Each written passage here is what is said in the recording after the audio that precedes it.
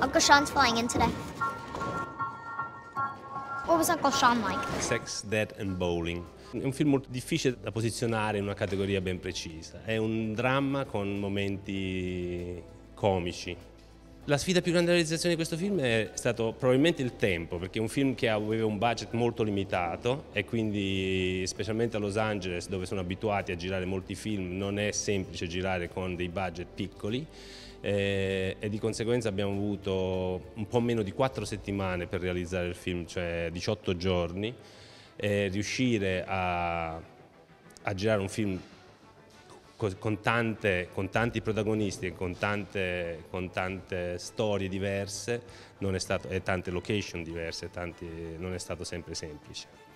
Ellie Walker è una donna molto forte che ha un'idea molto precisa di quello che vuole e questo è sempre un bene per un direttore della fotografia perché eh, avere qualcuno da seguire, specialmente che ha un'idea emotiva del film molto precisa, facilita molto il lavoro come direttore della fotografia. Ellie è una donna che ha molta esperienza, essendo stata un'attrice per oltre 30 anni, eh, lavorando tantissimo, è una scrittrice di grandissimo talento e sul set si è dimostrata una, una regista molto talentuosa e con idee molto precise.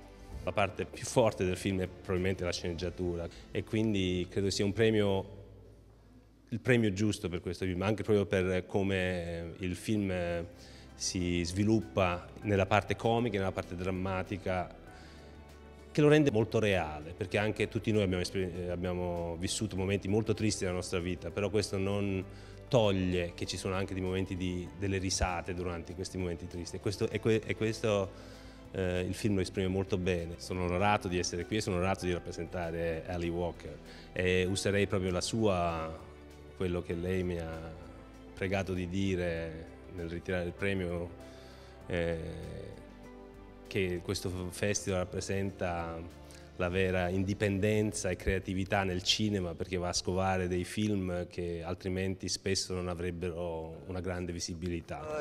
It's a family affair.